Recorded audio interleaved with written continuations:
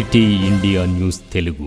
ఇది చీకటి వెలుగు. Welcome to city India news ఈ నెల పన్నెండున జడ్చర్ల మాజీ ఎమ్మెల్యే ఎర్రశేఖర్ హర్షవర్ధన్ రెడ్డి జగదీశ్వరరావు ఈ ముగ్గురు కాంగ్రెస్ తీర్థం పుచ్చుకోనున్నారు.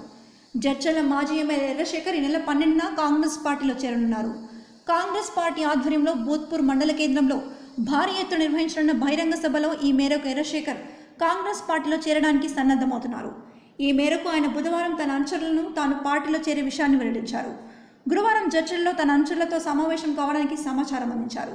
గత ఎమ్మెల్సీ ఎన్నికల ముందు కాంగ్రెస్ పార్టీలో ఉండి ఎమ్మెల్సీగా పోటీ చేసిన హర్షవర్ధన్ రెడ్డి సైతం అదే రోజు తిరిగి సొంత గూడికి చేరున్నారు ఎన్నికలకు ముందు గెలిచినా ఓడినా తిరిగి కాంగ్రెస్లోనే చేరుతానని అప్పట్లో ప్రకటించిన హర్షవర్ధన్ రెడ్డి తన మాట నిలబెట్టుకునేలా కాంగ్రెస్ గూటికి చేరున్నారు కొల్లాపూర్ నియోజకవర్గంలో టీడీపీ నేత జగదీశ్వరరావు సైతం అదే రోజు కాంగ్రెస్లో చేరనున్నట్లు ఆ పార్టీ వర్గాలు వెల్లడించాయి.